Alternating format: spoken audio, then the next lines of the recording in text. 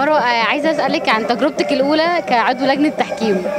آه، تجربتي كعضو تحكيم أنا أساسا ما يعني قلبي ما بيستحملش. يعني أنا بدي كل الفول مارك عشان تبقي فاهمة عشان أبقى معترفة بالحقيقة يعني. آه، يعني بحط نفسي في موقف أي بنت لأنهم بيتعبوا جدا وبيفضلوا يلبسوا ويقلعوا ويطلعوا وينزلوا.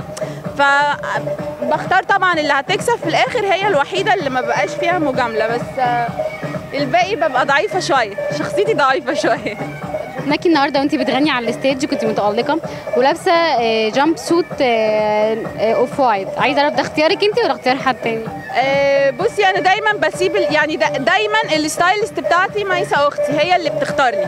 يعني إيه ميسه تقولي مثلا أنا هلبسك كذا كذا النهارده. مصمم الازياء بقى طبعا هو اللي بيختار ال look وبتاع. آه، ب- بصي أنا مبسوطة إن أنا على البحر ولابسة كاجوال وبتاع ولبس swimwear ومش حاسة بتقييد. برضو لما بكون لابسة فستان آه، سواريه أو haute couture كبير بكون تعبانة وشايلة هم إن أنا هقع وأنا كمية الوقعات اللي وقعتها في فساتين السواريه لا تقدر يعني.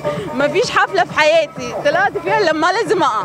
فبتبقى مشكلتي كبيرة. في ال high heels دايما والفستان. فدلوقتي أنا حاسة إن أنا منطلقه عادي جدا يعني.